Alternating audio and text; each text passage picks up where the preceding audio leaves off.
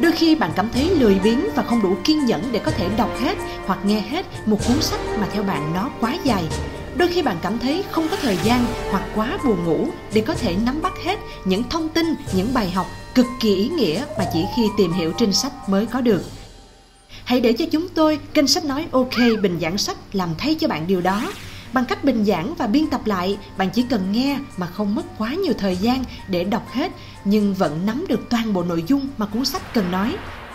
Hãy đăng ký, subscribe kênh sách nói OK bình giảng sách để được truyền cảm hứng và động lực qua những cuốn sách dạy làm giàu, dạy làm người thật hay và ý nghĩa nhé.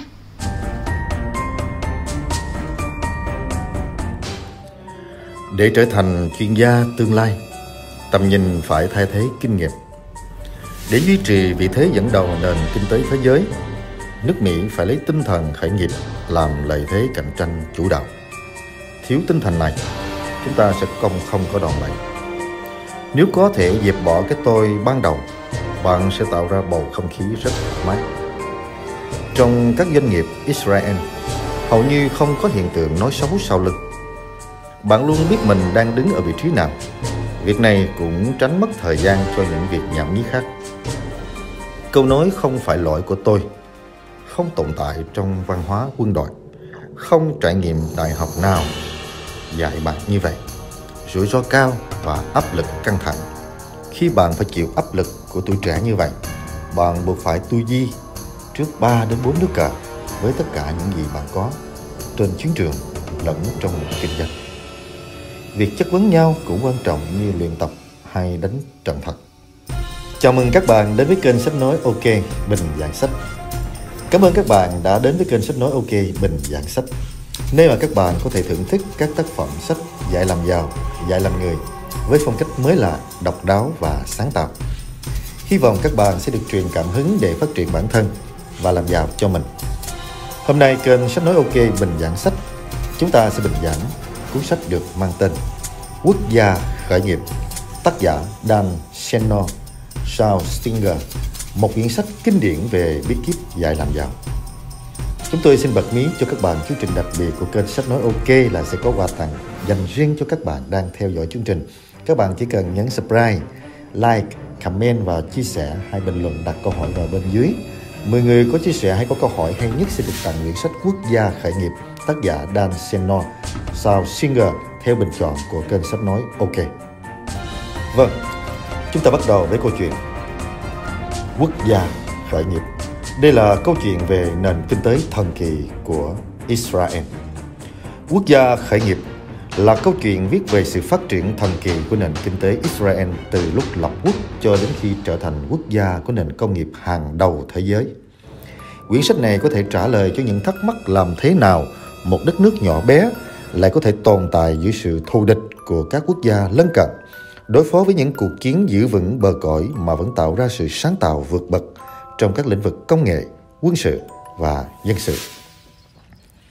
Với ngòi bút sắc sảo, phong phú và tập trung những lời nhận xét thực tế từ những doanh nhân thành công hàng đầu, quốc gia khởi nghiệp đã đem đến những cái nhìn mới mẻ về con người và đất nước Israel – làm sáng tỏ phần nào những thành công tưởng chừng như không tưởng của đất nước nhỏ bé này.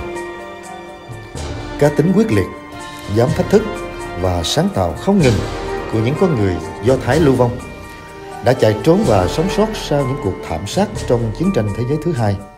Không cam chịu cuộc sống nghèo khổ, họ đã cùng với những người theo chủ nghĩa phục quốc do Thái gây dựng và bảo vệ đất nước Israel bằng chính sức lực của mình và khiến cả thế giới phải kinh ngạc. Ngày nay, Israel là một trong những quốc gia có nền kinh tế phát triển nhất thế giới và có lĩnh vực công nghệ phát triển không hề thua kém thung lũng Silicon của Hoa Kỳ. Quốc gia khởi nghiệp được xuất bản với hy vọng sẽ mang đến cho độc giả những bài học về khởi nghiệp của một quốc gia luôn có nền kinh tế phát triển sôi động. Con người thì luôn hướng đến sự cách tân và hướng đến một tương lai tươi sáng hơn. Đây là một trong những cuốn sách kinh doanh viết về đề tài khởi nghiệp mà bạn không thể thiếu. Nhiều người gọi đây là một điều kỳ diệu. Theo Cà phê Biz, những người khác thì coi đấy là một sự khó hiểu. Nhưng số lượng các startup công nghệ từ Israel là rất đáng kinh ngạc. Một quốc gia nhỏ chỉ có khoảng 7,6 triệu người, nhưng có đến 4.800 startup và thu hút số lượng vốn đầu tư mạo hiểm trên mỗi đầu người nhiều nhất thế giới. Được gọi là quốc gia khởi nghiệp, Israel vượt qua cả Mỹ về số vốn đầu tư mạo hiểm mỗi người với 170 đô la so với 70 đô la của Mỹ. Đây là một con số không tồi chút nào cho một quốc gia mới thành lập vào 65 năm trước. Có thể kể đến một vài startup nổi tiếng từ Israel như Waze, công ty bản đồ vừa được Google mua lại. Ion Road, ứng dụng di động cảnh báo tài xế khi họ đến quá gần chiếc xe khác ở trước mặt. Hai Conduit, thành tool cộng đồng được toàn thế giới chú ý. Israel cũng là nơi sản sinh ra những công ty sáng tạo và đổi mới nổi tiếng như Teva, công ty sản xuất thuốc với giá trị thị trường là 43 tỷ đô la, và Checkpoint, công ty công nghệ phần mềm có trị giá 11 tỷ đô. Vậy, điều gì khiến Israel trở thành một cái nơi nuôi dưỡng sự sáng tạo, đổi mới và phong trào khởi nghiệp như vậy? Uriel Palet, đồng sáng lập của startup chuyên tạo các mã QR Visualet của Israel, đã cho chúng ta biết lý do. Quân đội Ở Israel, hầu hết mọi người dân đều gia nhập quân đội trước khi vào đại học. Trong quân đội, rất nhiều người trở thành chuyên gia về công nghệ bởi công nghệ là một yếu tố chủ chốt trong việc giao tiếp và hoạt động ở đây. Môi trường và văn hóa trong quân đội của Israel cũng rất khuyến khích sự khởi nghiệp và sự lãnh đạo. Sau khi rời quân đội, rất nhiều các người lính trẻ nhận ra rằng họ muốn tạo nên một công ty có thể giải quyết các vấn đề trên thế giới qua giải pháp công nghệ. Họ chỉ cần chọn một vấn đề nào họ muốn để giải quyết và họ sẽ quyết tâm thực hiện điều đó. Thứ hai, trường đại học. Bên cạnh sự hỗ trợ từ chính phủ, Israel còn có những trường đại học xuất sắc nhất thế giới về công nghệ như Technion tại Haifa. Những trường đại học ở đây như là một sân chơi cho các nhà khởi nghiệp để gặp gỡ những người có cùng chung sở thích và có thể khởi nghiệp cùng nhau sau này. Thứ ba, tài nguyên từ chính phủ. Chính phủ Israel rất khuyến khích các nhà khởi nghiệp trẻ mạo hiểm thành lập công ty bằng cách hỗ trợ vốn cho họ. Chính phủ nước này cũng giúp họ trong cả việc giới thiệu các startup đến với nhà đầu tư, tạo nên những quan hệ đối tác và những chương trình hỗ trợ cho các công ty mới. Thứ tư, người hướng dẫn. Thế hệ khởi nghiệp đầu tiên của Israel giờ đây đang trong giai đoạn nghỉ hưu và họ là nguồn hỗ trợ cả về tài chính và kiến thức cho thế hệ tiếp theo. Họ cũng đóng vai trò là những nhà đầu tư cho các startup mới cũng như tư vấn cho các startup về cách phát triển mô hình kinh doanh và xâm chiếm thị trường. Tuy vậy, một trong những điểm mạnh và cũng là điểm yếu của các startup Israel là họ thường phát triển công ty với một kế hoạch à, rời khỏi thị trường sau khi tạo được đột phá chứ không bao giờ phát triển công ty thành một tập đoàn lớn. Mọi người Israel đều muốn trở thành ông chủ. Tuy vậy, để giúp kinh tế phát triển thì các nhân viên là rất cần thiết. Các bạn đang theo dõi chương trình Bình Giảng Sách trên kênh Sách Nói OK. Một lần nữa xin nhắc lại, kênh Sách Nói OK sẽ có quà tặng dành riêng cho các bạn đang theo dõi chương trình. Các bạn chỉ cần nhấn subscribe, like, chia sẻ, comment, bình luận hay đặt câu hỏi vào bên dưới. 10 người có chia sẻ hay có câu hỏi hay nhất sẽ được tặng quyển sách Quốc gia khởi nghiệp của tác giả Dan Senior, sau Singer theo bình chọn của kênh Sách Nói OK Bình Giảng Sách. Quốc gia khởi nghiệp Câu chuyện về nền kinh tế phát triển thần kỳ đột phá của Israel. Quốc gia khởi nghiệp của Dan Senior và Sao Singer là một trong những cuốn sách nổi tiếng luôn được các doanh nhân và chính trị gia tầm cỡ trên thế giới làm cuốn sách gói đầu giường góp mặt trong top 100 bestseller về mảng kinh doanh trở thành chìa khóa động lực phát triển của các quốc gia nhỏ bé. Với ngòi bút mạnh mẽ, sắc sảo, Dan Senior and Sao Singer tập trung vào các thắc mắc liên quan quan đến cá tính, gan dạ, sáng tạo, trí tuệ và không cam chịu sự sâu xé của các quốc gia lân cận, sự nghèo đói và dốt nát, cuộc thảm sát trong chiến tranh thế giới thứ hai của Đức Quốc xã đối với dân tộc Do Thái. Theo The Business VM. quốc gia khởi nghiệp kể những câu chuyện không chỉ về Israel mà về những con người dẫn đầu tiên phong vĩ đại, những tư tưởng vươn tầm thời đại, những láng giềng xung quanh hai đối chiếu những họ hàng Homo sapiens ở xa như Singapore, Phần Lan, Mỹ. với tư liệu đúng đắn được sâu kết thành một chuỗi các sự kiện thúc đẩy sự phát triển thần kỳ của Israel. Có một nhân vật mà bạn không thể không nhớ khi đọc quyển sách này, đó chính là Simon Peres, người được mệnh danh là người Israel nổi tiếng nhất thế giới, hai lần giữ chức vụ thủ tướng và từng đoạt giải Nobel Hòa bình. Đồng thời, ông được xem là cây đại thụ trên diễn đàn kinh tế thế giới Davos, người giúp dân tộc Do Thái tự đóng tro tàn, người truyền lửa khởi nghiệp cho toàn dân tộc Do Thái. Beres cùng người bạn vong niên của mình David Ben Gurion trở thành cặp bài trùng công nghệ nổi tiếng khắp Israel. Họ từng mơ mộng về công nghệ hàng không trong khi cả nước nói rằng chúng ta thậm chí còn không làm được chiếc xe đạp.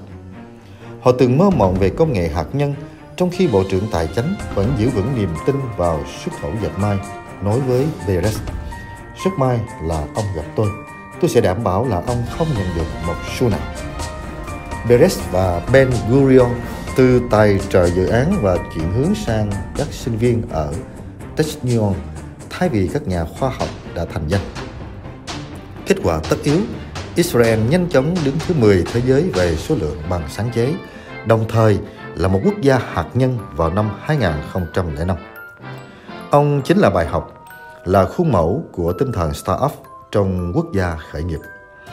Beres chỉ ra rằng khi bạn bé nhỏ, đừng vội nản chí, tầm nhìn mới là thứ quyết định thực lực. Thay vì sợ hãi trước những mặt tiêu cực, hãy đứng đầu hoặc tận dụng. Từ việc thiếu thị trường nội địa và khu vực cho đến sự tẩy chay và các cuộc bạo loạn, Beres chưa bao giờ nghĩ đó là lực cản. Ông cho đó là trợ lực, là sức bật tối ưu nhất để rèn luyện không chỉ con người mà chính quốc gia đó bắt đầu hành trình khởi nghiệp cho chính mình. Israel, quốc gia của sự mờ nhạt về cấp bậc. Chúng ta hay thắc mắc làm sao Israel có thể vươn mình dậy trước sự đói nghèo, sự nhâm nhe của các quốc gia Ả Rập, sự lãnh đạm hờ hững của Mỹ. Dan Senior sao Singer sẽ đưa cho bạn câu luận hợp lý, sâu sắc và triết lý để giải quyết vấn đề trong quốc gia khởi nghiệp. Quốc gia khởi nghiệp Ở trong quân đội Israel, bạn phải tự suy nghĩ, đưa ra những quyết định sống còn, tuân thủ kỷ cương như chiến trường trong thế giới kinh doanh. Đôi khi kinh nghiệm phải được thay thế bằng tầm nhìn. Cũng do cách giáo dục như vậy, Israel trở thành nơi có tỷ lệ người vào đại học sau khi giải ngũ rất lớn hơn bất kỳ nơi đâu trên thế giới. Quân ngũ chính là lò rèn ra tinh thần khởi nghiệp. Còn Perez chính là người nâng đỡ những giấc mơ đó. Giấc mơ khởi nghiệp khiến chúng ta nhận ra nếu người Israel đề cao tinh thần chokpa, vừa nóng nảy, cọc cằn, thẳng tính, tháo vát thì người Việt Nam luôn đề cao sự kính kẻ, cả nể và sợ đụng chạm. Nếu người Israel dám trao quyền hàng vượt cấp, biết được bí mật quốc gia, tranh luận đến cùng, trao đổi thẳng thắn với cấp trên thì người Mỹ, cấp dưới vừa nhìn thấy cấp trên sẽ sợ hãi không dám bày tỏ quan điểm cá nhân. Đó chính là nghệ thuật chất vấn sự mờ nhạt cấp bậc giúp Israel đào tạo ra những con người không màng tới cấp bậc, chỉ màng tới cái đúng và cái sai, luôn hướng đến tinh thần sáng tạo và tinh thần khởi nghiệp. Chuppa là hết sức bình thường. Chuppa, theo ngữ Slava của người Đức, đã thức truyền tức là táo bạo, gai góc, trắng trợn, thần kinh, vô liêm sỉ mà không một ngôn ngữ nào có thể miêu tả chính xác. Sự táo bạo đó của người Israel xuất hiện từ sinh viên đại học, nói chuyện với các giảng viên, nhân viên thách thức ông chủ, binh lính chất vấn quan chỉ huy đến thư ký sửa lưng các bộ trưởng chính phủ. Họ dường như sinh ra và được nuôi lớn bằng việc nghi ngờ những cái có sẵn, trong khi ở rất nhiều nước đó là thứ không thể nào chấp nhận, bởi vì tôn ti trật tự là cái buộc phải tuân lệnh. Những câu hỏi như vì sao ông lại là sếp tôi? Vì sao tôi không phải là sếp ông? Được cho là câu hỏi cuồng vọng, dị thường và nhảm nhí. Do đó, ta có thể thấy văn hóa khởi nghiệp bắt đầu từ những thứ rất nhỏ, đó chính là những câu chất vấn người khác, chất vấn cuộc đời rồi đến chính mình. Họ đã được thắp sáng bởi tầm nhìn chiến lược và sáng tạo không một rào cản nào của tương lai.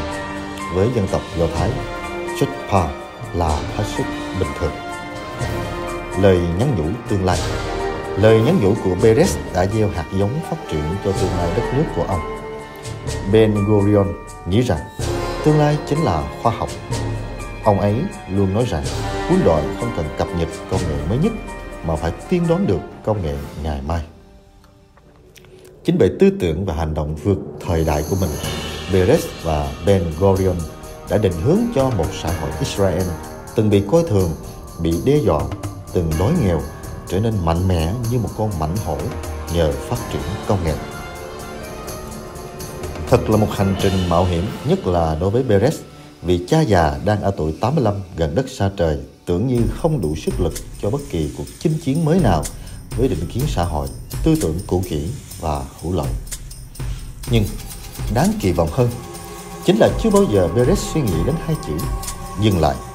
Kết thúc tại đây, ông còn đổ tiền vào R&D, có nghĩa là Research and Develop, nghiên cứu và phát triển.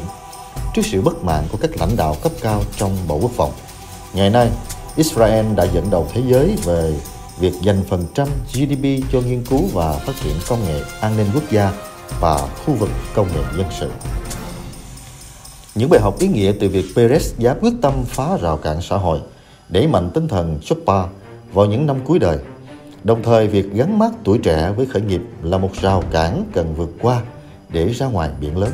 Khởi nghiệp là tốt, nhưng còn tốt hơn nếu phấn đấu trở thành công ty lớn và đa quốc gia. Vậy, cốt lõi của quốc gia khởi nghiệp của tinh thần Beres là gì? Đó chính là khả năng nghịch đảo từ nguy nan trở nên nhiều cơ hội hiếm có.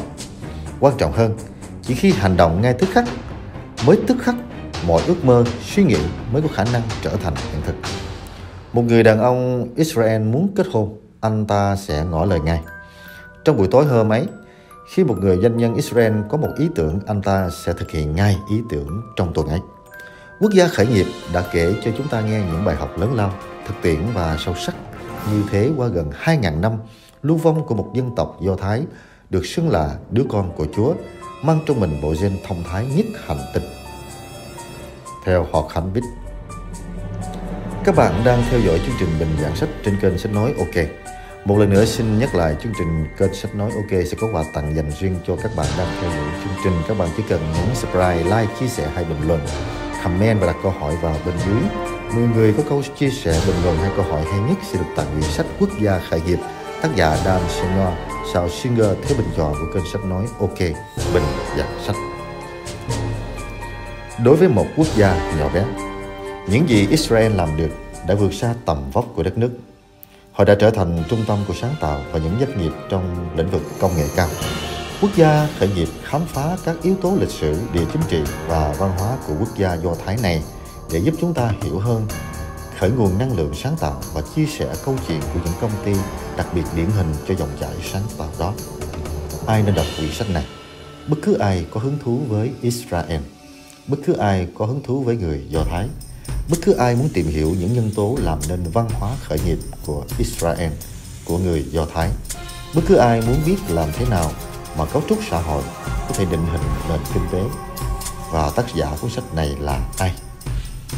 Dan Senior là một nhà văn, chuyên gia tư vấn chính trị và trợ giảng cao cấp cho các nghiên cứu về Trung Đông trong Hội đồng quan hệ đối ngoại. Ông là phát ngôn viên của Liên minh Chính phủ lâm thời ở Iraq Ông đã đi khắp các nẻo đường Trung Đông và theo học tại Israel và trường kinh doanh Harvard. Ông là tác giả thường xuyên của Wall Street Journal, từng viết bài cho tờ New York Times và Times. Saul Singer là một nhà bình luận và là cựu biên tập trang xã luận của tờ Jerusalem Post. Ông là tác giả của cuốn sách Đối đầu với jihad, cuộc đấu tranh của Israel và thế giới sau 11 tháng 9. Singer cũng là tác giả bài viết cho Wall Street Journal và Washington Post. Các bạn đang theo dõi chương trình bình giảng sách trên kênh Sách Nói OK. Một lần nữa xin nhắc lại kênh ở Sách Nói OK sẽ có quà tặng dành riêng cho các bạn đang theo dõi chương trình. Các bạn chỉ cần nhấn subscribe, like và chia sẻ hai bình luận comment, đặt câu hỏi vào bên dưới. 10 câu hỏi, 10 bình luận, câu trả lời hay nhất sẽ được chúng tôi tặng diện sách Quốc gia khởi nghiệp của tác giả Dan Senor sau Singer theo bình chọn của kênh sách nói. OK bình danh sách. Đọc sách. Thói quen khởi đầu của những người giàu có. Readers is leaders. Người đọc sách là người dẫn đầu. Đọc sách để mở mang trí tuệ. Đọc sách giúp con người nâng cao hiểu biết, tiếp thu tri thức. Sách có một khả năng tập trung kiến thức, kinh nghiệm rất lớn. Do đó, sách có thể cung cấp cho ta một tri thức khổng lồ đã được đúc kết cô động và chính xác ở mức độ cao. Những lợi ích của việc đọc sách. Thứ nhất, đọc sách giúp nâng cao kiến thức. Đọc sách cải thiện sự tập trung và tăng cường kỹ năng tư duy phân tích.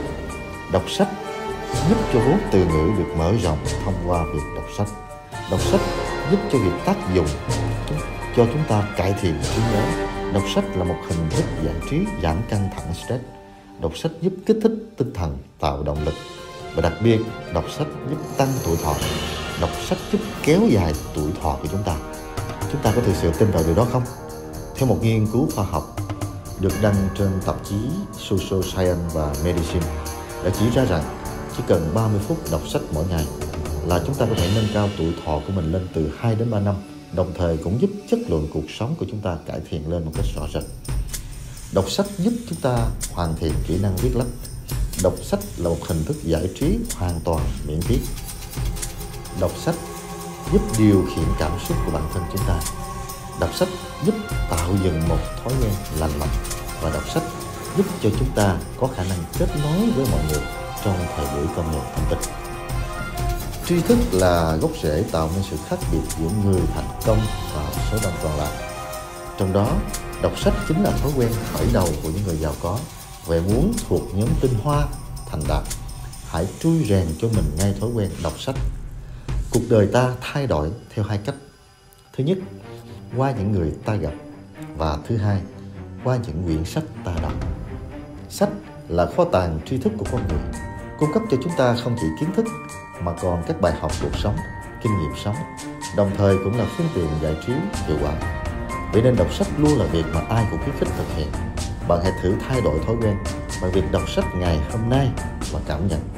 Bill Gates, một trong những tỷ phú giàu nhất thế giới và tỷ phú Warren Buffett, một nhà đầu tư vĩ đại nhất thế giới, là người có thói quen đọc sách hàng ngày. Bill Gates trung bình một năm đọc 50 cuốn sách. Còn bạn thì sao? Còn chúng ta thì sao? Hãy dành 30 phút mỗi ngày để đọc sách. Israel được mệnh danh là quốc gia khởi nghiệp. Nhưng đằng sau đó còn cả một quốc gia bị lãng quên. Trên sa mạc hoang vu khô cằn, nơi thỉnh thoảng mới có vài chú lạc đà đi qua, những nhân viên của một phòng thí nghiệm đang thử nghiệm những thiết bị thông minh mà họ mới chế tạo. Đó là nồi nấu chậm đa năng, là camera an ninh hai thiết bị phát hiện khói. Hàng triệu thiết bị như vậy được kết nối với Internet, tạo thành mạng lưới Internet kết nối vạn vật, đem đến sự tiện lợi cho người sử dụng. Tuy nhiên, hệ thống này cũng có thể dễ dàng bị lợi dụng bởi những tên tội phạm mạng. Nếu tôi là một kẻ tấn công, tôi sẽ không bao giờ ẩn nấp trong máy tính để bàn của bạn, mà sẽ tận dụng hệ thống máy báo khói hoặc chuông báo động, bởi chẳng có ai quan tâm đến việc bảo vệ chúng. Oleg Brod, giám đốc trung tâm R&D của Cyber BGU, một trung tâm nghiên cứu an ninh mạng trực thuộc Đại học Ben Gurion ở Beersheba, Israel nói. Những nghiên cứu của trung tâm này chỉ ra cách mà các thiết bị đeo được có thể được sử dụng để nghe lén các doanh nghiệp như thế nào. Thậm chí, cả những hệ thống máy tính siêu bảo mật không kết nối với Internet cũng có thể bị hack theo nhiều cách. Thí dụ như khai thác sóng radio, dựa vào tín hiệu đèn LED hay thậm chí cả dấu hiệu nhịp. Quốc gia khởi nghiệp chuyển mình Chính phủ Israel muốn biến Beersheba, một thành phố khá nghèo khó ở miền Nam, thành một trung tâm an ninh mạng hàng đầu thế giới, thu hút các tập đoàn đa quốc gia hợp tác. Quan trọng hơn, đơn vị nổi tiếng Unit 8.200 của quân đội Israel và nhiều cơ quan công nghệ khác sẽ chuyển trụ sở về Beersheba trong vài năm tới cung cấp cho nơi này nguồn nhân lực trẻ bên cạnh những người dày dặn kinh nghiệm. Israel thu hút khoảng 15% tổng số vốn đầu tư mạo hiểm vào lĩnh vực an ninh mạng của toàn thế giới. Đây là một phần của nền kinh tế quốc gia khởi nghiệp đang bùng nổ ở Israel, tạo thành hệ sinh thái năng động nhất bên ngoài nước Mỹ. Giờ có rất nhiều chuyến bay thẳng nối San Francisco với Tel Aviv. Bên cạnh an ninh mạng, Israel nổi tiếng với công nghệ trong nông nghiệp và xử lý nước, dịch vụ chăm sóc sức khỏe và công nghệ trong ngành tài chính. Thứ gây hào hứng nhất là xe không người lái. Mới đây, ông lớn của ngành chip Intel đã mua công ty chuyên nghiên cứu các hệ thống hỗ trợ tài xế Mobile với giá 15,3 tỷ đô la Mỹ. Tất cả những điều kể trên đánh dấu một sự thay đổi lớn so với thời kỳ những năm 1980 khi Israel đang bên bờ vực của sự khủng hoảng tài chính. Để chiến thắng trong chiến tranh Yom Kippur, nước này đã phải đẩy chi tiêu quốc phòng lên tới 30% GDP trong năm 1975 và đến năm 1984 nợ công đã gần chạm mốc 300% và Israel rơi vào tình trạng siêu lạm phát với tỷ lệ 450% trên năm. Trong thập kỷ vừa qua, nền kinh tế Israel tăng trưởng khoảng 4% mỗi năm. Tỷ lệ thất nghiệp ở mức thấp kỷ lục 4,3%. Tỷ lệ tham gia vào thị trường lao động cũng tăng lên. Dù không có nhiều tài nguyên thiên nhiên, Israel có kế hoạch xuất khẩu bán khí đốt sang châu Âu và đang bán nước cho Sudan. Nước này đã phát triển được công nghệ khử muối. Nợ công giờ đã giảm xuống còn 62% GDP, có thặng dư tài, khoản vãng lai và dự trữ ngoại tệ ở mức cao. Từng ở trong tình trạng nền kinh tế bị đô la hóa, giờ Israel lại lo ngại trước đà tăng giá của đồng nội tệ shekel. Đồng tiền đã tăng giá gần 13% trong 2 năm trở lại đây. Ngân hàng trung ương nước này thường can thiệp vào thị trường ngoại tệ để kìm hãm đà tăng giá của đồng shekel. Kể từ thời đỉnh cao đỉnh điểm của phong trào Intifada lần thứ hai vào năm 2015 nền kinh tế Israel chưa từng rơi vào suy thoái kỹ thuật, tức có hai quý liên tiếp chứng kiến GDP sụt giảm. Theo Ogen Kendall, người từng là cố vấn kinh tế cho chính phủ Israel và là giám đốc của startup Nation Central, một tổ chức phi chính phủ kết nối các công ty toàn cầu với các startup Israel. Nền kinh tế này miễn nhiễm với những cuộc chiến tranh ở giải Gaza và Lebanon. Có thể nói ở đất nước này tồn tại song song hai nền kinh tế riêng biệt. Israel được mệnh danh là quốc gia khởi nghiệp, năng động và hòa nhập với thế giới, nhưng chỉ có 10% người lao động Israel làm việc trong quốc gia ấy. 90% còn lại vẫn làm việc trong khu vực giống như một quốc gia bị bỏ lại ở phía sau. Những doanh nghiệp hoạt động không hiệu quả và được bảo hộ trước những cạnh tranh từ bên ngoài. Israel là một trong những nước có tỷ lệ đói nghèo cao nhất trong thế giới phát triển. Trôi nổi như một quả khí cầu, Jeff Pelin. Kendall cho rằng ngành công nghiệp cao của Israel giống như một quả khí cầu nổi lên trên các phần còn lại của nền kinh tế và kết nối với mặt đất chỉ bằng một sợi dây rất lỏng lẻo. Điều này gây nên hai rủi ro. Thứ nhất, quả cực quả khí cầu ấy có thể bay mất nếu như môi trường chính trị, luật pháp hoặc an, an ninh bị xói mòn. Thứ hai là nỗi lo chỉ mình quả khí cầu này không thể giúp toàn bộ nền kinh tế cất cánh. Theo Kendall, giải pháp là các startup của Israel phải trưởng thành hơn, trở thành những công ty tầm cỡ và tự đi trên đôi chân của mình thay vì hướng đến mục tiêu bán được với giá cao cho các ông lớn như Google. Kể cả khi các trung tâm R&D vẫn được đặt ở Israel sau khi startup bị thâu tóm, người lao động Israel hiện chủ yếu là những lập trình viên chất lượng cao, thiếu hụt luật sư hay kế toán. Dù có tỷ lệ học vấn cao, Israel xếp thứ hạng thấp trong chương trình PISA, kiểm tra kỹ năng nghiên cứu khoa học, toán học và kỹ năng đọc dành cho trẻ em 15 tuổi, được nhiều nước áp dụng theo tiêu chuẩn OECD.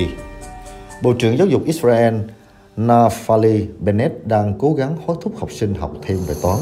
Ông cũng muốn cải thiện chất lượng của các trường đào tạo giáo viên Mặc dù các tổ chức công đoàn hoạt động khá mạnh khiến khó có thể áp dụng trả lương theo chất lượng công việc hay sa thải người không đủ chất lượng.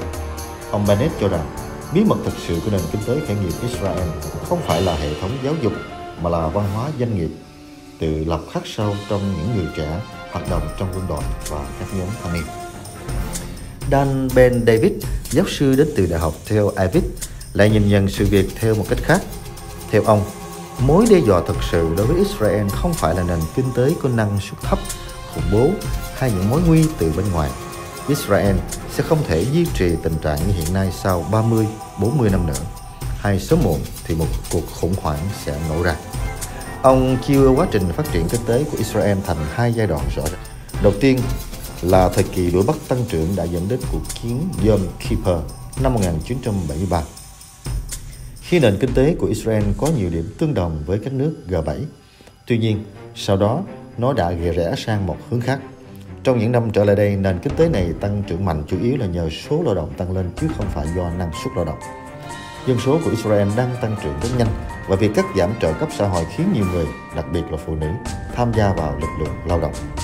Theo ông, Israel chưa đầu tư đủ cho giáo dục và cơ sở hạ tầng bởi vì phần lớn nguồn lực được dùng cho các chương trình trợ cấp và vấn đề nền kinh tế không đồng đều chắc chắn sẽ xấu đi trong tương lai nếu không có sự thay đổi lớn tỷ lệ tham gia vào lực lượng lao động và năng suất sẽ sụt giảm cắt giảm chi tiêu công có thể Thủ tướng Benjamin Netanyahu đã để Israel vào trường hợp thiếu dư địa tài khóa để đầu tư vào các hàng hóa công cộng và chống lại đói nghèo. Israel cũng không được OECD đánh giá cao ở góc độ các biện pháp giới hạn thị trường. Tình trạng độc quyền vẫn còn nặng nề và trong thập kỷ vừa qua, xếp hạng môi trường kinh doanh theo World Bank đánh giá đã tụt từ hạng 26 xuống tận 52. Điều này đồng nghĩa với mức lương thấp và giá cao, chi phí cuộc sống ở đây cao hơn 20% so với Tây Ban Nha và 30% so với Hàn Quốc. Chứng nhận kosher khiến thực phẩm đắt đỏ và nhiều loại thuế, phí cùng rào cản luật pháp khiến giá nông sản bị đội lên. Và thật sự đất nước được coi là quê hương của taxi và thiết bị định vị lại không cho phép Uber hoạt động vì thái độ phản đối gay gắt của taxi truyền thống. Trong khi đó, những nút thắt cổ chai trong hoạt động xây dựng và phân bổ đất đai khiến giá nhà tăng cao và đặc biệt ở thủ đô Tel Aviv. Theo tri thức Economist, các bạn đang theo dõi chương trình bình giảng sách trên kênh Sách Nói OK. Một lần nữa xin nhắc lại, kênh Sách Nói OK sẽ có quà tặng dành riêng cho các bạn đang theo dõi chương trình. Các bạn chỉ cần nhấn subscribe, like, chia sẻ và comment, bình luận hay đặt câu hỏi vào bên dưới 10 người có câu trả lời câu hỏi và có bình luận hay nhất sẽ được tặng quyển sách Quốc gia khởi nghiệp của tác giả Dan Senior sau single theo bình chọn của kênh sách nói OK Bình giảng sách. sẽ được chia sẻ với các bạn các trích dẫn hay từ quyển sách Quốc gia khởi nghiệp. Để trở thành chuyên gia tương lai, tầm nhìn phải thay thế kinh nghiệm. Trang 11 Quốc gia khởi nghiệp. Để duy trì vị thế dẫn đầu nền kinh tế thế giới, nước Mỹ phải lấy tinh thần khởi nghiệp làm lợi thế cạnh tranh chủ đạo. Thiếu tinh thần này, chúng ta sẽ không có đòn bẩy. Trang 55 Nếu có thể đè bẹp cái tôi ban đầu, bạn sẽ tạo ra bầu không khí rất thoải mái.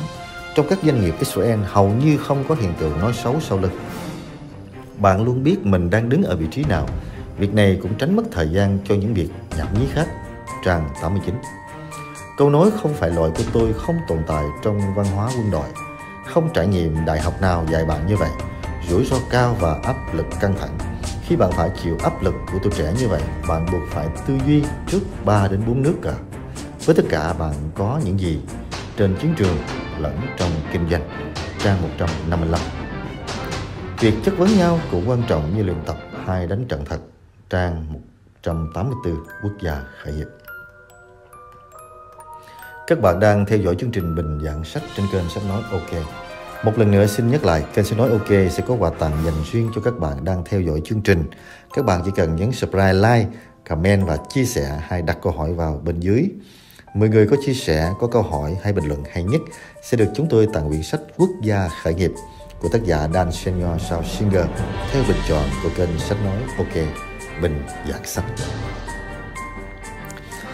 Chúng ta học gì và chúng ta có thể áp dụng gì sau khi đọc xong quyển sách này.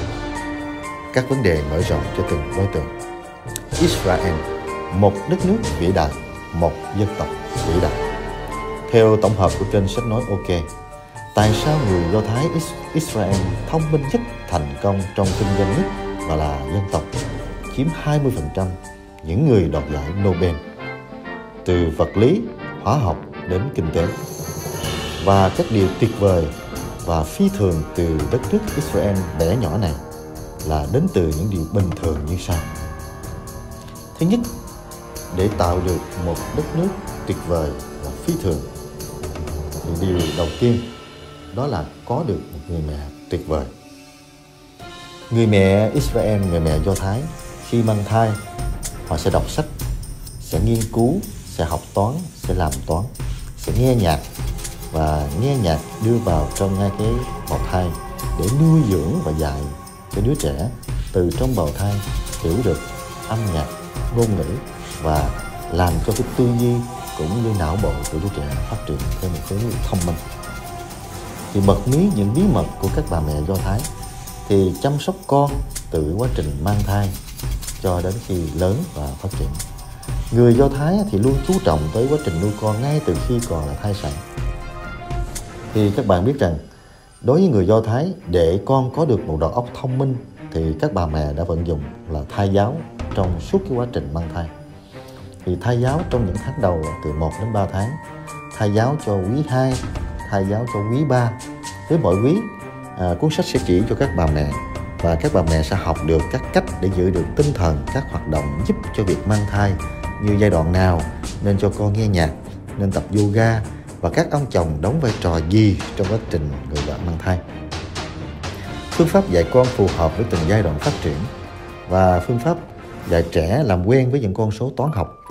Những đứa trẻ do thái được dạy chữ và bắt đầu từ 3 tuổi trở lên. Việc làm quen với những con số là chúng đang cung cấp những kiến thức ban đầu cho trẻ, giúp trẻ hình thành các phẩm chất, năng lực và tư duy nhanh.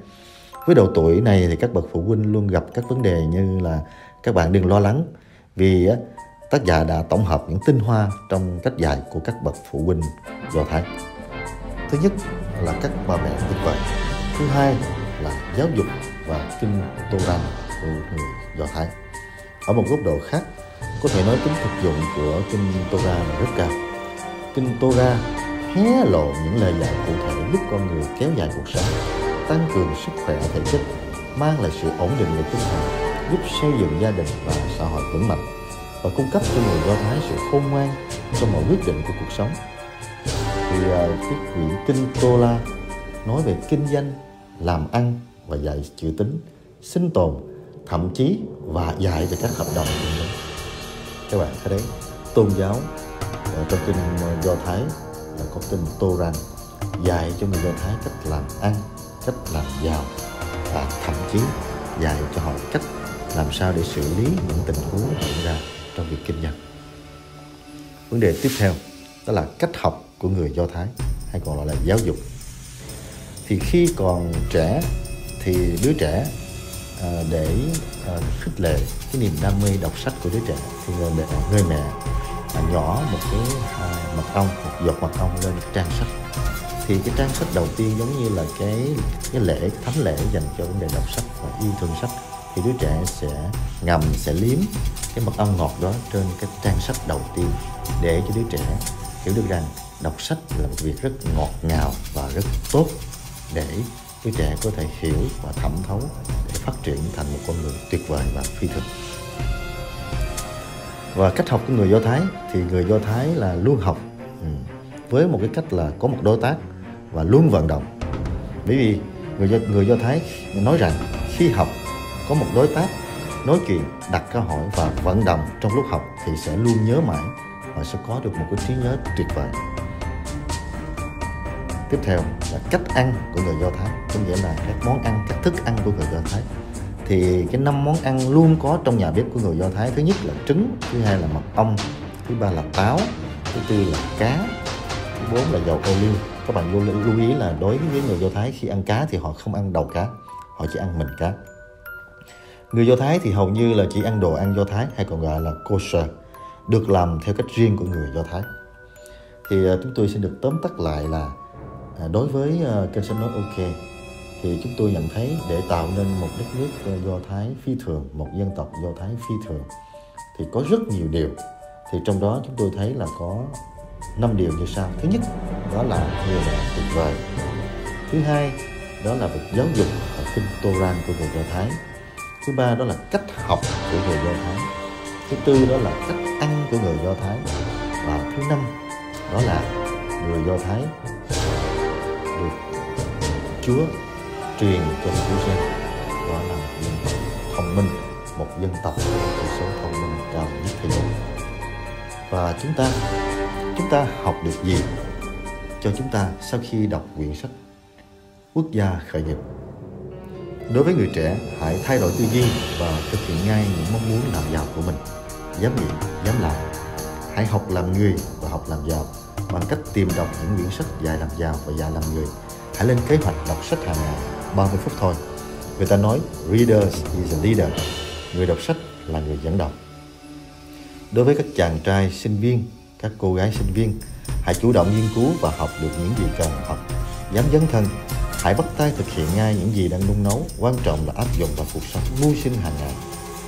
Đối với các bậc phụ huynh các bậc cha mẹ chúng tôi nghĩ rằng à, thứ nhất hãy hiểu cách dạy con và hãy tìm cách dạy con về cái tư duy làm giàu và cái sự thoải mái về tài chính và chia sẻ kiến thức kinh nghiệm cụ thể thực tế khoa học qua kinh nghiệm của mình cho con cái. Hãy biết thế nào là tài sản thế nào là sự giàu có thế nào là làm giàu cho kiến thức, thế nào là làm giàu cho bản thân? Và làm sao đầu tư hợp lý để có sự giàu có bền vững? Hãy dạy cho con suy nghĩ của người giàu và suy nghĩ của người nghèo là thế nào? Tại sao phải suy nghĩ lại khác nhau? Hãy định hướng và truyền cảm hứng làm giàu cho con cái bằng các câu chuyện thực tế và hãy là tấm gương để con cái noi theo. Đối với những người nghèo hay những người đang thất bại, là thứ nhất thứ nhất, chúng ta hãy dũng cảm đối diện với sự thật. Nhìn vào sự thật nhìn vào bản thân và chấp nhận để vươn lên, trước hết chúng ta hãy tìm hiểu và phân tích lý do vấn đề cốt lõi tại sao chúng ta thất bại. Lý do chính là gì? Sau khi xác định được vấn đề cốt lõi và lý do cốt lõi đó, chúng ta hãy suy ra giải pháp và hãy mạnh dạn thay đổi và hành động. Hãy lập kế hoạch smart, có kế hoạch cụ thể, có mục tiêu cụ thể có thể đo lường được. Mục tiêu không viễn vông và có thể đạt được. Mục tiêu phải gắn liền với thực tế và đặc biệt là phải có thời gian deadline cụ thể đối với tất cả chúng ta, hãy hướng đến việc làm giàu chính đáng cho bản thân, cho gia đình và cho xã hội. Để làm giàu, chúng ta phải biết đầu tư đầu tư trong tất cả mọi lĩnh vực, đầu tư trong tất cả các ngành nghề. Miễn công việc nào được xã hội thừa nhận. Trên cuộc đời này, không có cái nghề nào cao quý, chỉ có con người cao quý. Tuy nhiên, đầu tư quan trọng nhất là đầu tư vào cái đầu. Bởi vì đầu tư vào chính mình, đầu tư vào cái đầu là quan trọng nhất và là tài sản có giá trị nhất các bạn đang theo dõi chương trình Bình dẫn sách trên kênh Sách Nói OK. Một lần nữa xin nhắc lại, kênh Sách Nói OK sẽ có quà tặng dành riêng cho các bạn đang theo dõi chương trình. Các bạn chỉ cần theo dõi, nhấn subscribe, like và chia sẻ, comment hay bình luận, đặt câu hỏi vào bên dưới. 10 người có chia sẻ hay có câu hỏi hay nhất sẽ được chúng tôi tặng quyển sách Quốc gia đại diện tác giả Dan Shannon sau Singer theo bình chọn của kênh sách nói OK Bình giảng sách. Xin chia sẻ và truyền cảm hứng về giá trị của sách, giá trị của việc đọc sách cho chúng ta. Đọc sách, thói quen khởi đầu của những người giàu có. Readers is leaders. Người đọc sách là người dẫn đầu. Đọc sách để mở mang trí tuệ. Đọc sách giúp con người nâng cao hiểu biết, tiếp thu tri thức. Sách có một khả năng tập trung kiến thức, kinh nghiệm rất lớn. Do đó, sách có thể cung cấp cho ta một nguồn tri thức khổng lồ đã được đúc kết cô động và chính xác ở mức độ cao qua không gian và thời gian. Những lợi ích của việc đọc sách Thứ nhất, đọc sách giúp nâng cao kiến thức. Thứ hai, cải thiện sự tập trung và tăng cường kỹ năng tư duy, phân tích khi đọc sách. Thứ ba, vốn từ ngữ được mở rộng thông qua việc đọc sách. Thứ tư, tác dụng của việc đọc sách giúp cải thiện trí nhớ. Thứ năm, đọc sách là một hình thức giải trí, giảm căng thẳng và giảm stress. Thứ sáu, đọc sách kích thích tinh thần và tạo động lực. Thứ bảy, đọc sách giúp tăng tuổi thọ. Đọc sách giúp kéo dài tuổi thọ. Chúng ta thực sự tin vào điều đó không? Theo một nghiên cứu khoa học được đăng trên tạp chí Social Science and Medicine đã chỉ ra rằng chỉ cần 30 phút đọc sách mỗi ngày thôi là chúng ta có thể nâng cao tuổi thọ của mình lên từ 2 đến 3 năm. Đồng thời cũng giúp chất lượng cuộc sống cải thiện lên một cách rõ rệt. Thứ 8. Đọc sách hoàn thiện kỹ năng viết lách. Thứ 9. Đọc sách là một hình thức giải trí hoàn toàn miễn phí. Thứ 10.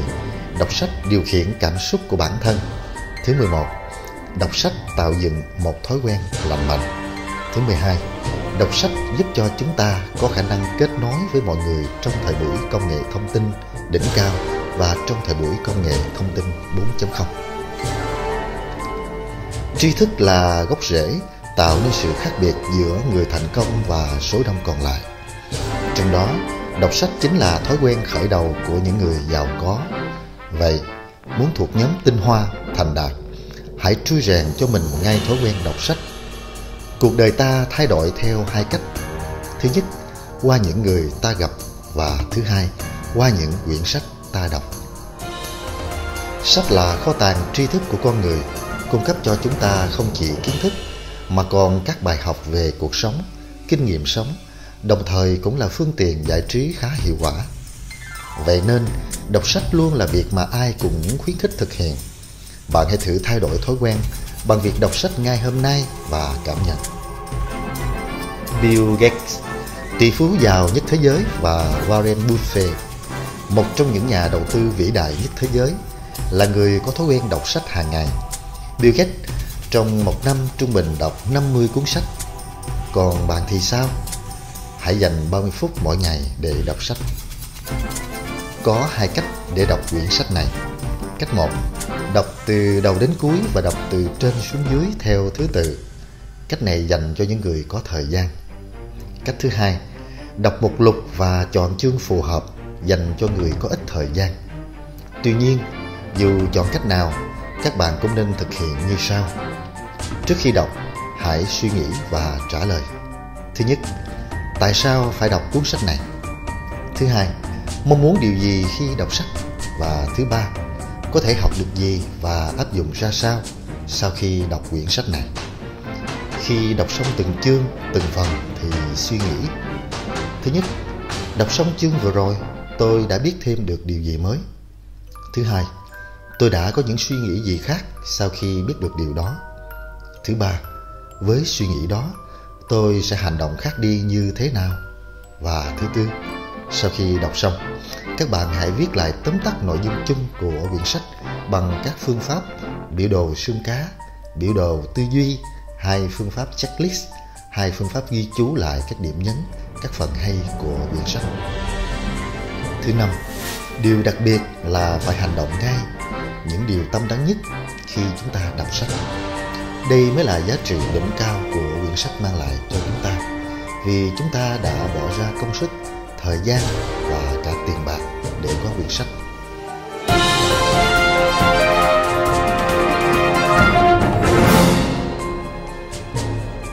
Chúng ta phải thay đổi. Chúng ta cần thay đổi và chúng ta có thể thay đổi. Xin chia sẻ và giới thiệu với các bạn các phương pháp thay đổi cuộc đời. Ikigai, lẽ sống hai mục đích sống. Công thức thay đổi Ikigai, lẽ sống hay mục đích sống. Bí mật cho một cuộc đời dài và đầy ý nghĩa. Lý do bạn thức dậy mỗi buổi sáng là gì? Tuy không có từ tương đồng trong tiếng Anh, Ikigai có thể được hiểu là sự kết hợp giữa hai từ trong tiếng Nhật. Ikiru có nghĩa là sống và Kai có nghĩa là giác ngộ. Sự kết hợp của hai từ này Ikigai tạo nên một khái niệm về lý do để sống, hay ý tưởng về mục đích sống của chúng ta. Ikigai cũng có mối quan hệ thú vị với lịch sử nước Nhật.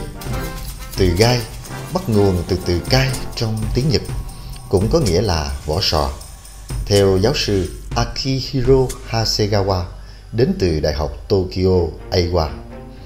Vỏ sò được coi là vật vô cùng có giá trị trong thời kỳ Heian của nước Nhật từ năm 794 đến năm 1185.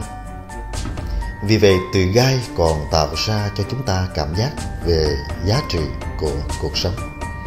Vậy, Ikigai có nghĩa là giá trị của cuộc sống, giá trị của lẽ sống. Để có thể tìm được lý do hay mục đích sống của mình, các chuyên gia khuyên bạn bắt đầu với bốn câu hỏi cơ bản như sau. Và bạn có thể vẽ bốn vòng tròn như sau. Vòng tròn thứ nhất, bạn yêu thích điều gì và bạn thích làm điều gì. Vòng tròn thứ hai, bạn giỏi về điều gì và bạn có giỏi về việc đó hay không.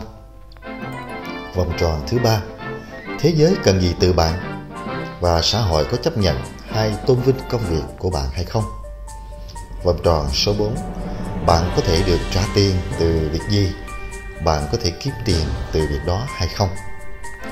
Tìm kiếm câu trả lời và sự cân bằng giữa bốn câu hỏi, bốn vòng tròn, bốn lĩnh vực trên có lẽ chính là con đường nhanh chóng dẫn đến Ikigai cho bạn khi tìm hiểu về khái niệm này. Thí dụ, bạn là người yêu nhạc, bạn là người nhạc sĩ. Vòng tròn thứ nhất, bạn yêu thích điều gì? Bạn thích làm điều gì? Câu trả lời, bạn thích chơi nhạc, bạn thích nhạc và bạn thích sáng tác nhạc. Câu hỏi số 2, vòng tròn số 2. Bạn có giỏi về điều đó và bạn có giỏi về việc chơi nhạc hay không? Câu trả lời, bạn chơi nhạc giỏi, bạn sáng tác nhạc hay. Vòng tròn thứ ba, thế giới cần gì từ bạn? Xã hội có chấp nhận hay tôn vinh công việc đó hay không? Câu trả lời, xã hội tôn vinh và thích những người chơi nhạc, những người nhạc sĩ trong các chương trình âm nhạc, trong các chương trình văn nghệ hay các chương trình giải trí. Câu hỏi số 4, vòng tròn số 4. Bạn có thể được trả tiền từ việc gì? Và bạn có được kiếm tiền từ việc đó hay không? Câu trả lời, không may. Bạn không kiếm được tiền từ việc là một người nhạc sĩ. Bạn luôn sống thiếu thốn và phải nhờ sự giúp đỡ của gia đình, người thân, bạn bè, xã hội. Vậy, từ câu chuyện trên, bạn đã tìm ra Ikigai, lẽ sống của đời mình chưa? Theo bạn, người nhạc sĩ đó có tìm ra lẽ sống và Ikigai của đời mình không? Hãy chia sẻ và bình luận nhé. Công thức số 2 Công thức thay đổi cuộc đời Yes, No Chúng tôi xin chia sẻ với các bạn công thức đơn giản thay đổi cuộc đời đó là công thức thay đổi cuộc đời Yes và No Có nghĩa là có và hoặc không Hãy đặt câu hỏi Bây giờ chúng ta có hạnh phúc và thỏa mãn hay không?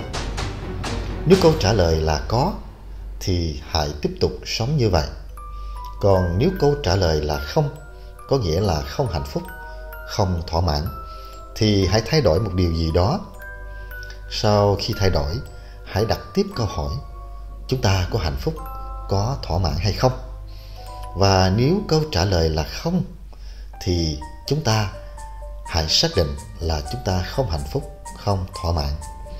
Và chúng ta hãy tiếp tục suy nghĩ, lựa chọn và thay đổi một điều gì đó để nâng bản thân lên một tầm cao mới.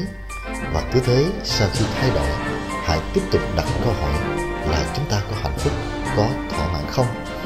Và cuối cùng nếu câu trả lời là có, là yes, thì có nghĩa là chúng ta đã tìm ra lẽ sống và mục đích sống của cuộc đời mình. Chúc các bạn thay đổi và nâng tầm cuộc đời của mình qua công thức thay đổi Yes, No. Công thức số 3 hay còn gọi là phương pháp thứ ba phương pháp Kaizen hay là triết lý Kaizen. Để thay đổi, chúng tôi đề xuất các bạn sử dụng phương pháp Kaizen của Nhật Bản, một phương pháp kinh điển và được ứng dụng thành công tại các công ty hàng đầu của Nhật Bản như Toyota, Honda, Mitsubishi và hàng ngàn công ty Nhật Bản thành công khác. Kaizen được ghép bởi từ Kai có nghĩa là thay đổi và từ Zen có nghĩa là tốt hơn. Tức là thay đổi để tốt hơn hoặc cải tiến liên tục. Kaizen có nghĩa là thay đổi để tốt hơn hoặc cải tiến liên tục.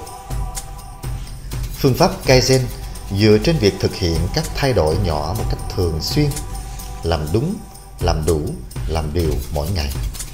Luôn cải thiện năng suất, an toàn và hiệu quả, đồng thời giảm sự lãng phí. Có rất nhiều triết lý và nhiều chuỗi hoạt động đáng để học hỏi và ứng dụng đối với Kaizen. Tuy nhiên, chúng tôi chỉ tập trung nói về việc thay đổi và cải tiến nên áp dụng thế nào đối với từng cá nhân. Thay đổi để tốt hơn chắc chắn là vậy, nhưng thay đổi thế nào? Không phải thay đổi nhanh chóng được mà chúng ta phải thay đổi từ từ. Vì nếu đột ngột thay đổi, chúng ta sẽ có rất nhiều áp lực và không dễ thích nghi với hoàn cảnh mới. Vì thay đổi một thói quen phải có một quá trình, đặc biệt là khi thói quen chưa tốt. Thí dụ, chúng ta có thói quen thức dậy lúc 8 giờ. Chúng ta muốn thay đổi thói quen thức dậy lúc 8 giờ và chúng ta quyết định thức dậy lúc 6 giờ 30 phút. Ngày hôm sau, chúng ta không thể làm ngay mà hãy làm từ từ và có lộ trình. Thí dụ, mỗi ngày dậy sớm 10 phút thôi và liên tục như vậy, chúng ta sẽ thay đổi thói quen thức dậy từ 8 giờ xuống 6 giờ 30 sau 9 ngày. Bởi vì nếu chúng ta đột ngột thay đổi thói quen thức dậy từ 8 giờ xuống 6 giờ 30 thì chúng ta sẽ gặp và tạo ra rất nhiều áp lực. Chúng ta hãy làm đúng, làm đủ và làm điều mỗi ngày. Giống như việc chạy bộ, giống như việc rèn luyện thể thao, giống như việc đọc sách hay tích lũy tiền bạc và tự do về tài chính, chúng ta phải thay đổi từng ngày và làm đúng, làm đúng mỗi ngày. Chúc các bạn áp dụng phương pháp Kaizen thành công. Tiếp theo, chúng tôi xin giới thiệu với các bạn phương pháp và triết lý 5S. Triết lý 5S đây là triết lý đỉnh cao của người Nhật Bản. 5S là viết tắt của năm từ tiếng Nhật bắt đầu bằng chữ S. Và khi dịch sang tiếng Việt cũng dùng năm từ S như sau. Chữ S thứ nhất là sàng lọc. Chữ S số 2 là sắp xếp. Chữ S số 3 là sạch sẽ. Chữ S số 4 là săn sóc. Chữ S số 5 là sẵn sàng. Vậy thì làm sao ta áp dụng triết lý 5S vào cuộc sống cá nhân để thay đổi cuộc sống và mục đích cá nhân của chúng ta?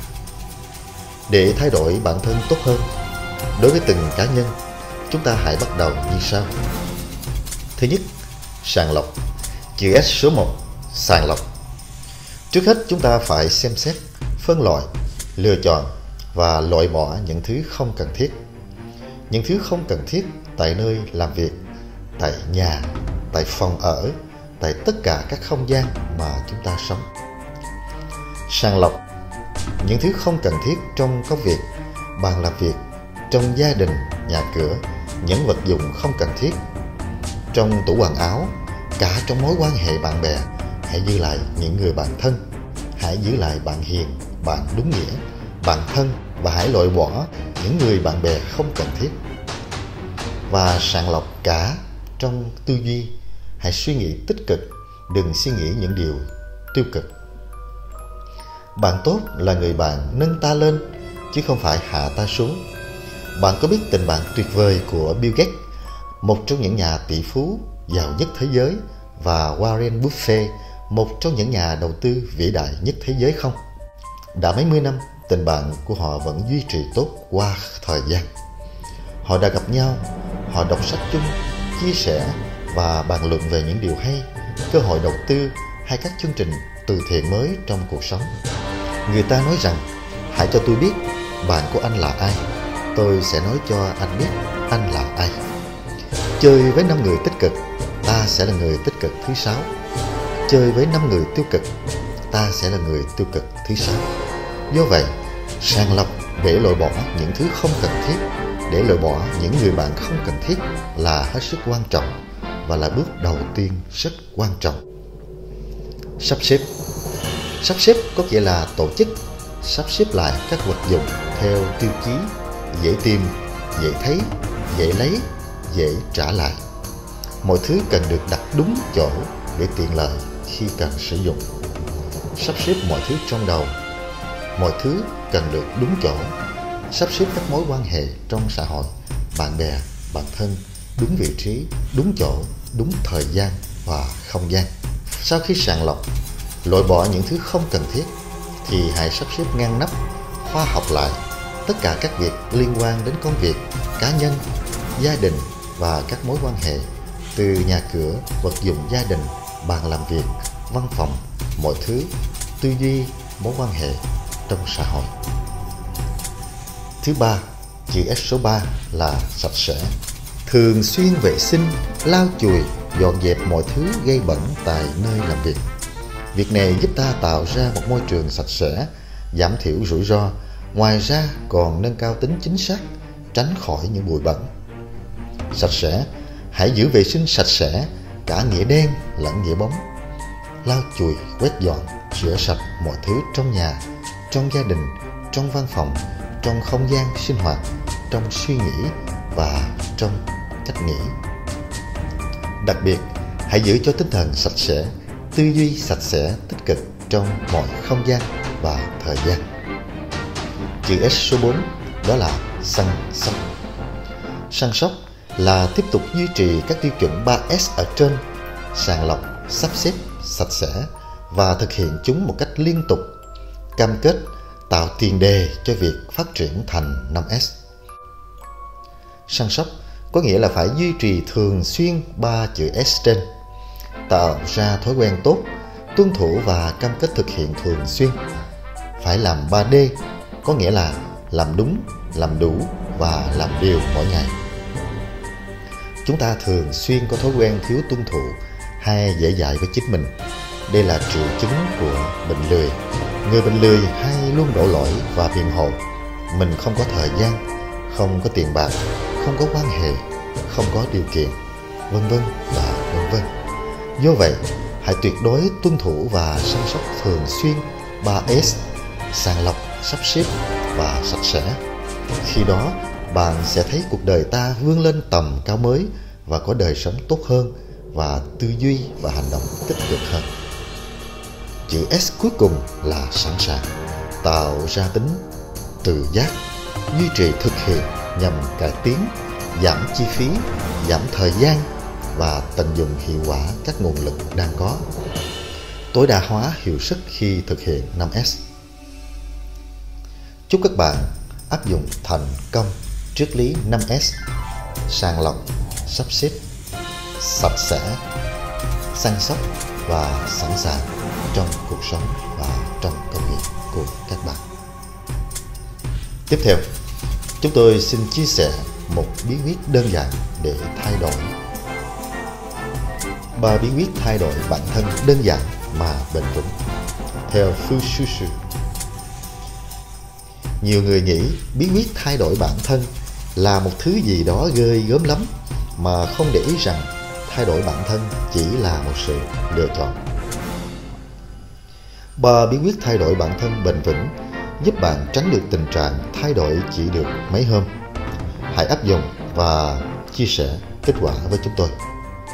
Bí quyết thay đổi bản thân số 1 Giữ lời hứa với chính mình, Củng cố niềm tin với con người tuyệt vời trong bạn Nếu có một ai đó tới vay tiền bạn Mà lần trước họ đã vay không trả Liệu bạn có muốn cho họ vay tiếp không? Câu trả lời là không Nếu có một ai đó từng thất hứa với bạn Bạn có muốn tin tưởng họ làm điều gì cho mình nữa không? Câu trả lời chắc chắn là không Đó đó chính là điều chúng ta đã làm với con người bên trong của mình đấy. Đã bao lần bạn nói định làm một thứ gì rồi sau ấy không làm? Hãy nhớ, cứ mỗi lần bạn nói, thậm chí bạn nghĩ ra một ý tưởng thú vị mà sau đó bạn không làm là một lần bạn đã vay sức mạnh từ con người bên trong mà bạn không trả. Ban đầu, bạn nghĩ rằng bạn có thể được tha thứ vài lần, nhưng dần dần thì sự tin tưởng sẽ mất dần. Đó chính là lý do dẫn đến tình trạng ngày hôm nay bạn nói rằng mình phải thay đổi từ mai mình phải quyết tâm làm việc này và ngày hôm sau, mọi thứ biến mất hết. Có người bên trong không tin bạn nữa, họ không nhắc nhở bạn nữa. Vậy thì phải làm sao? Bí quyết để thay đổi bản thân bền vững, giờ đây đã trở nên rõ ràng. Hãy xem lại những gì trước đây bạn đã đề ra mà không làm, rồi ra quyết định. Hoặc là không bao giờ làm nó nữa, hoặc là hoàn tất nó. Bắt đầu từ bây giờ, từ ngay hôm nay. Giữa muộn và quá muộn là một khoảng cách rất lớn. Hãy làm ngay trước khi quá muộn. Bí quyết thay đổi bản thân bền vững số 2 lựa chọn môi trường tích cực gieo mình để phát huy đam mê. Có một câu chuyện xưa cũ nhưng lại giữ nguyên giá trị xuyên thời đại ngày nay. Câu chuyện kể về những chú cua trong một chiếc chậu. Chúng lúc nhúc, đè đầu cưỡi cổ nhau để thoát ra khỏi chậu. Xong, ngay khi một con ngôi lên thành chậu thì nó lập tức bị những con khác kéo xuống. Kết quả là cả bầy, cua an bài trong chậu. Đừng để hạt giống tin tưởng bên trong bạn mới chớm nở, đã bị ai đó dập nát. Hãy tránh xa những chú cua hãy lựa chọn cho mình những người bạn tích cực mà tốt nhất là đừng dại chui vào chậu cua bạn có thể không lựa chọn được nơi mình sinh ra, nhưng bạn có quyền lựa chọn nơi mình học tập, làm việc và gắn bó cả đời. Hãy lựa chọn những môi trường tích cực. Một môi trường tích cực không chỉ hỗ trợ bạn thay đổi bản thân mà còn giúp hạt giống đam mê nảy nở hàng ngày và hàng giờ. Hành động áp dụng bí quyết thay đổi bản thân số 2 là hãy cải thiện môi trường xung quanh bạn bắt đầu từ việc tránh xa những người bi quan tiêu cực trên Facebook, trong cuộc sống, trong công việc. Hãy tham gia vào một câu lạc bộ nào đó, đặc biệt là một câu lạc bộ thuyết trình thì rất tốt, một câu lạc bộ mà tạo cho bạn không gian tích cực để phát triển. Bạn không chỉ kết nối với những người bạn tự tin mà còn được thể hiện và khám phá con người bên trong mình. Nếu chưa thể thay đổi hoặc tham gia một môi trường tích cực, hãy vây quanh bạn bằng những thứ tích cực. Hãy luôn mang theo một cuốn sách truyền cảm hứng hoặc mang theo những món đồ độc đáo tích cực bên bạn và bạn xem đó như là người bạn thân của mình. Bí quyết thay đổi bản thân bền vững số 3 Thay đổi nhỏ và điều đặn Làm đúng, làm đủ và làm điều mỗi ngày sẽ gặt được kết quả tốt mỗi ngày. Một giáo sư đại học Stanford tên là B.G. Fogg, người có hơn 20 năm nghiên cứu về khoa học hành vi mà tôi có dịp học hỏi từ ông qua một khóa học, đã khẳng định rằng con đường thay đổi bền vững chỉ có thể đạt được thông qua ba cách sau. Thứ nhất, một cú sốc tâm lý tác động mạnh tới niềm tin sâu thẳm bên trong. Thứ hai, sự thay đổi lớn trong môi trường sống, học tập và làm việc. Thứ ba, sự thay đổi nhỏ, đều đặn, thường xuyên, có nghĩa là làm đúng, làm đủ và làm điều mỗi ngày.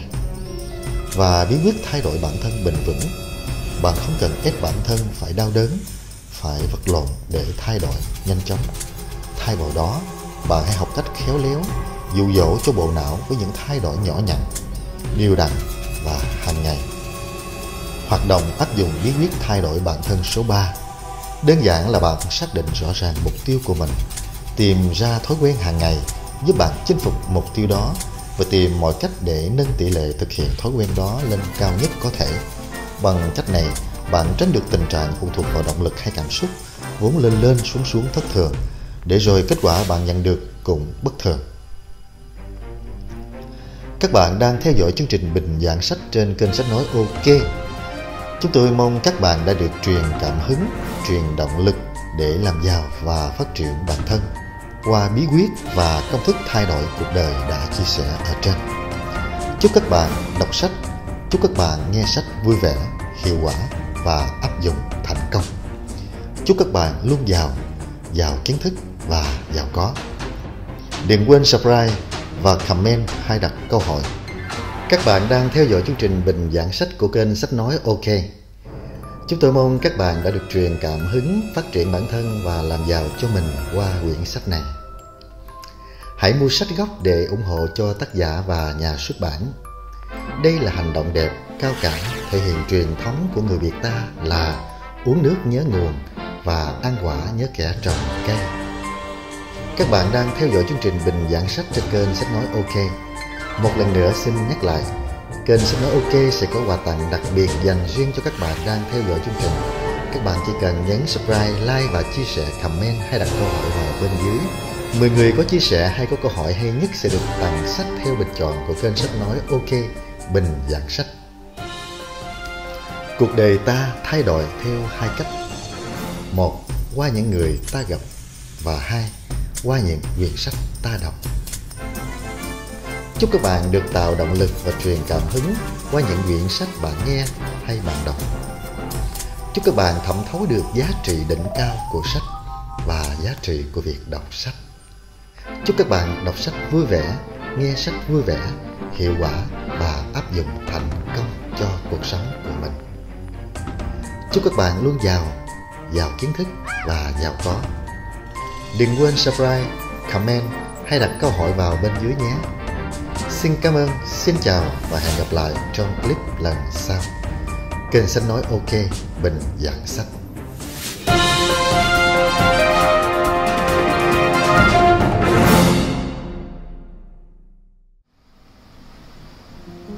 Đọc sách, thói quen khởi đầu của những người giàu có. Reader is the leader. Người đọc sách là người dẫn đầu. Đọc sách để mở mang trí tuệ, đọc sách giúp con người nâng cao hiểu biết, tiếp thu tri thức, Sách có một khả năng tập trung kiến thức, kinh nghiệm rất lớn. Do đó, sách có thể cung cấp cho ta một nguồn tri thức khổng lồ đã được đúc kết cô động và chính xác ở mức độ cao. Những lợi ích của việc đọc sách. Một Đọc sách giúp nâng cao kiến thức. Hai, Cải thiện sự tập trung và tăng cường kỹ năng tư duy, phân tích. Ba, Vốn từ ngữ được mở rộng thông qua việc đọc sách. Bốn, Tác dụng của việc đọc sách giúp cải thiện trí nhớ. 5. Đọc sách là một hình thức giải trí, giảm căng thẳng, giảm stress 6. Kích thích tinh thần, tạo động lực 7. Tăng tuổi thọ Đọc sách giúp kéo dài tuổi thọ của bạn Bạn có thực sự tin vào điều đó hay không? Và theo một nghiên cứu khoa học được đăng trên tạp chí Social Science and Medicine đã chỉ ra rằng chỉ cần 30 phút đọc sách mỗi ngày thôi là bạn có thể nâng cao tuổi thọ của mình lên từ 2 đến 3 năm, đồng thời cũng giúp chất lượng cuộc sống cải thiện lên một cách rõ rệt. 8. Hoàn thiện kỹ năng viết lách và 9 là một hình thức giải trí hoàn toàn miễn phí. 10. Điều khiển cảm xúc của bản thân 11. Tạo dựng một thói quen lành mạnh 12. Đọc sách giúp cho khả năng kết nối mọi người trong thời công nghệ thông tin là đỉnh cao trong thời công nghệ 4.0.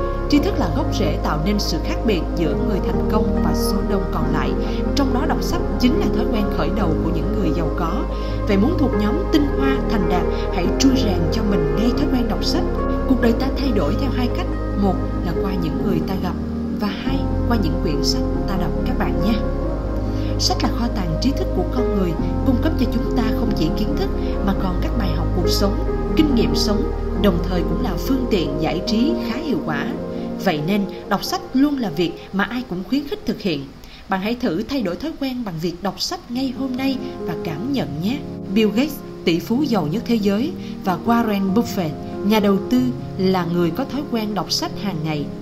Bill Gates một năm đọc 50 cuốn sách. Còn bạn thì sao? Hãy dành 30 phút mỗi ngày để đọc sách nhé. Và có hai cách để đọc quyển sách này. Cách thứ nhất, đọc từ đầu đến cuối và đọc từ trên xuống dưới theo thứ tự dành cho người có thời gian. Cách thứ hai, đọc mục lục và chọn chương phù hợp dành cho người ít thời gian. Tuy nhiên, dù cho có lựa chọn cách nào đi chăng nữa thì các bạn cũng nên thực hiện như sau. Trước khi đọc, hãy suy nghĩ và trả lời. Tại sao phải đọc cuốn sách này? Mong muốn điều gì khi đọc sách? có thể học được gì và áp dụng ra sao sau khi đọc quyển sách này. Khi đọc xong từng chương từng phần thì suy nghĩ một Đọc xong chương vừa rồi, tôi đã biết thêm điều gì mới? hai Tôi đã có những suy nghĩ gì khác đi sau khi biết điều đó? ba Với suy nghĩ khác đó, tôi sẽ hành động khác đi như thế nào? Và bốn Sau khi đọc xong, các bạn hãy viết lại tóm tắt nội dung chung của quyển sách bằng phương pháp Fishbone, tức là biểu đồ xương cá, biểu đồ tư duy hay là checklist hay ghi chú lại các điểm nhấn. 5. Điều đặc biệt là phải hành động ngay những điều tâm đắc nhất. Đây mới là giá trị của quyển sách mang lại cho chúng ta. Các bạn thân mến, chúng ta đang theo dõi chương trình Bình giảng sách kênh sách nói OK. Một lần nữa xin được nhắc lại là kênh sách nói OK ngày hôm nay sẽ có quà tặng đặc biệt dành riêng cho các bạn theo dõi chương trình. Các bạn chỉ cần nhấn subscribe, like và comment hay đặt câu hỏi vào bên dưới thì 10 người có chia sẻ hay có câu hỏi hay nhất sẽ được tặng quyển sách theo bình chọn của kênh sách nói OK Bình giảng sách.